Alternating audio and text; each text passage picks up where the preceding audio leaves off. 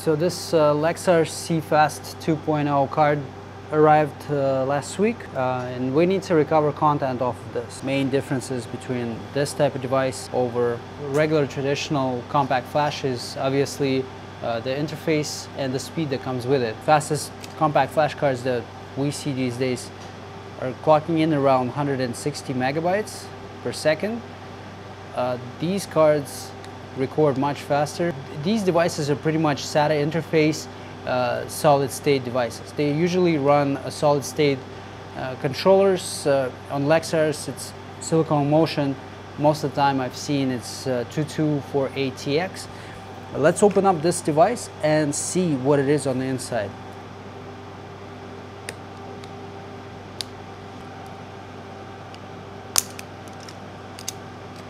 Sorry, did I say 48XT? I meant 46XT.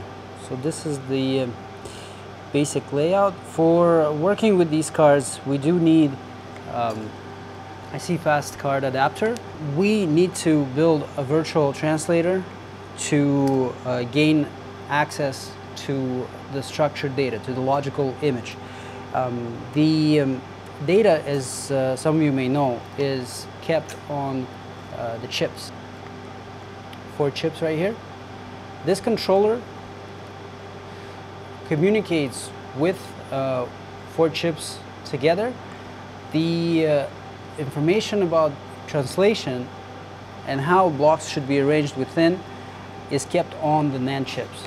If the card stops initializing, but it detects itself in the safe mode, most of the time it would indicate either uh, that there is a disconnection between the board and one of the NANDs, Possibly uh, there is a problem with one of the NANDs uh, and so the microcode from the chips can come together in the uh, form that the controller is expecting it to. So in order to uh, do the further troubleshooting, it's best to hook it up to PC3000. We can try to upload a loader to this device and once the loader is uploaded, we can try to build a translator to uh, see if we can gain access to the data. If that does not work, there's also an option to recover data directly from uh, all four of these chips. This corner right here, there are four dots here. Those are called via holes. Okay, these two that are closer towards the NAND was gonna initiate a safe mode for us. Oh, wait, it's too much zoom. There we go, that's good. So we're gonna put a jumper on there to short them out. Once they're shorted, the drive is gonna by default gonna go into safe mode. And by going into safe mode, it will allow uh, PC3000 utility to work with it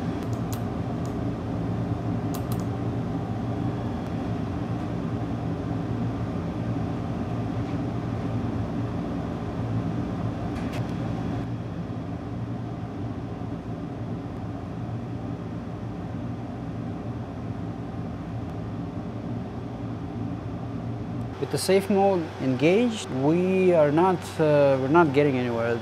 The entire registry goes up like a Christmas tree, pretty much every light comes on. That's not what we were looking for. Let's find out why that is. So I'm gonna start with the um, quartz. The power's been tested. Everything seems to be delivered to where it needs to be delivered to.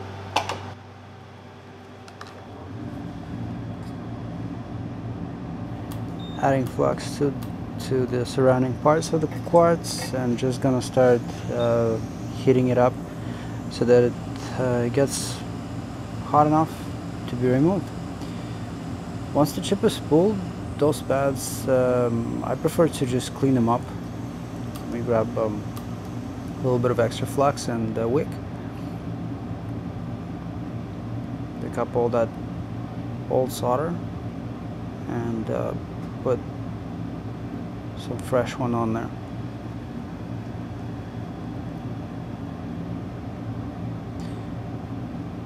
This is leaded as well, so it doesn't take as much heat to uh, to melt. And do the same on the chip side.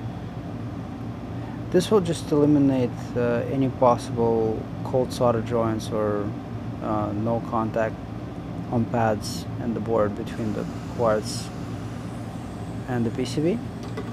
That had no effect on uh, the situation and we're still getting all the registries acting really really really weird. So this is SM2246XTHA controller. Let's peel this off and uh, see what the pads look like same thing here we're gonna add flux heat it up and with tweezers I'm gonna just feel when the solder becomes uh, liquid, pull it off.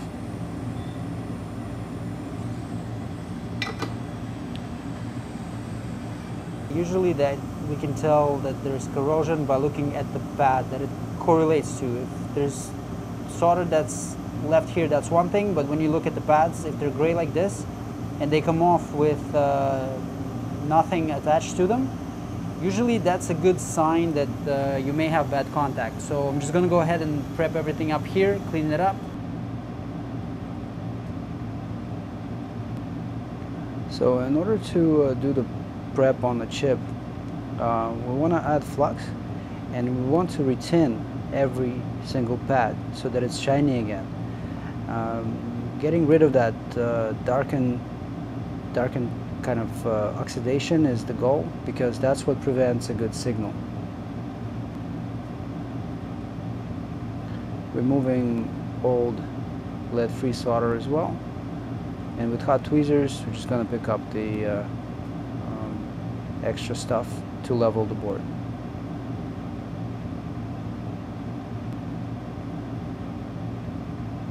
Look at that what's happening here is we've removed the uh, controller to uh, get reballed and repositioned. The quartz, I don't know exactly what to swap it out with because there's no markings on it to know exactly what uh, frequency it is. I just tried to lift it up, rebold it just to make sure that all four pads are still attached.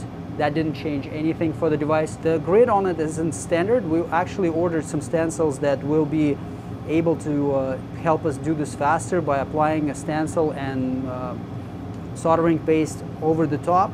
Uh, but uh, for now, I have to resort to the manual route and do this by hand, one ball at a time.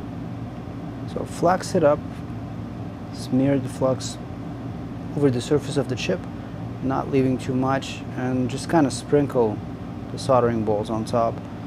Uh, it's a little bit of patience required type of procedure, but once you do this several times, it's really no big deal. Like this whole thing took me seven minutes to line up, so it would take 30 seconds maybe with the stencil to finish, but it's not too bad. The next thing is uh, very critical, is to uh, keep a very low airflow um, and um, make sure that these uh, solder balls don't start floating all over the place because if they do uh, they'll start merging and if they merge you're gonna have to lift them clean them and uh, reball again. So monitoring it making sure that they stay in their own place is the key here and we can see right there that this is a problematic spot that we're to take care of right now. Just line it back and heat it up again because uh, if we don't it's just going to be asking for more trouble. Once they're seated initially and it doesn't look like things are moving anywhere else, uh, we can apply more flux to it and flow it at higher airflow to get it done quicker.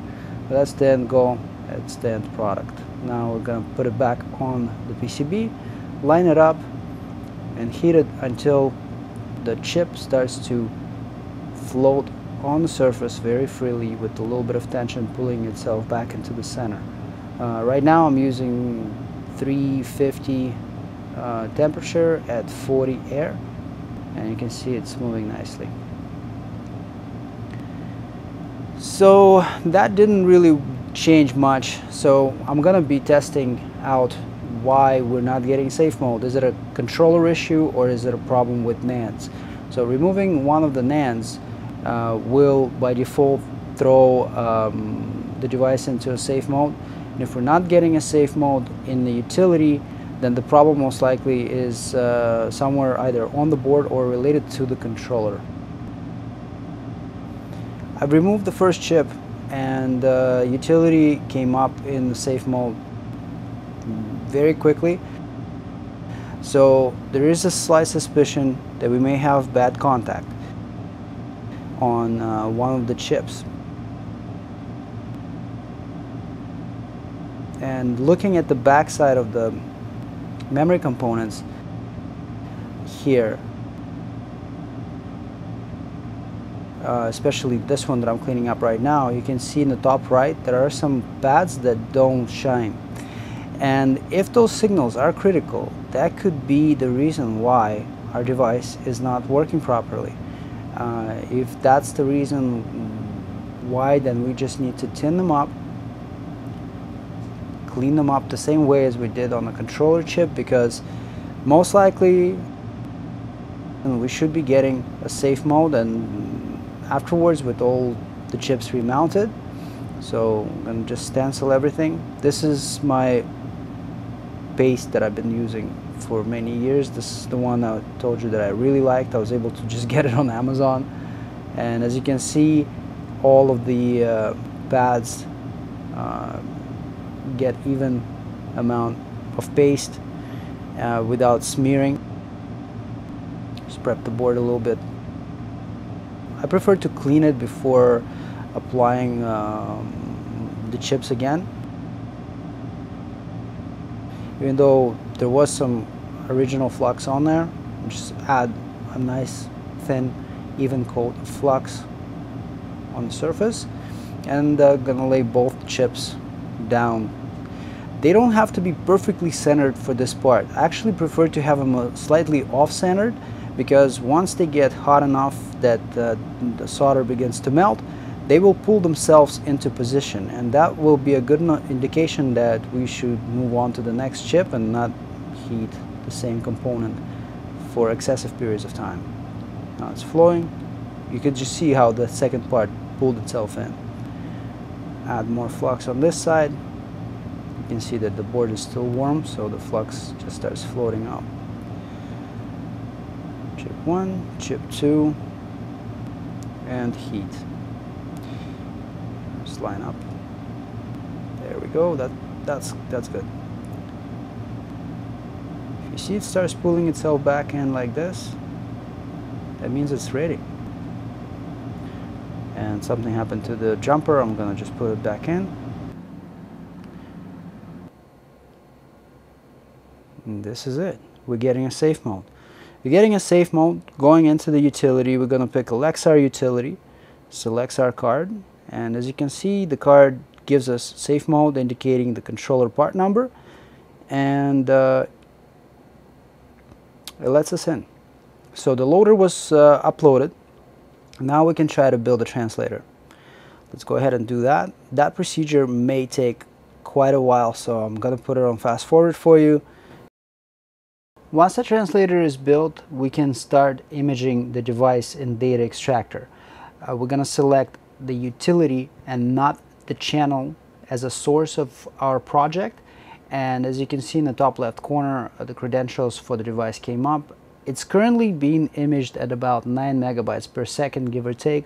It's not the crazy fast speed, but again, uh, this is happening all because of PC3000's ability to uh, build a translator for this device. That's as fast as it's gonna go for now, but it's running steady and that's what's important.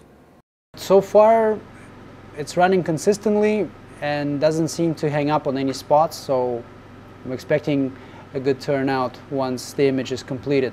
So if you guys have any questions, feel free to post your comments in the section below and if you need help with the memory card recovery, the links are in the description how to reach us.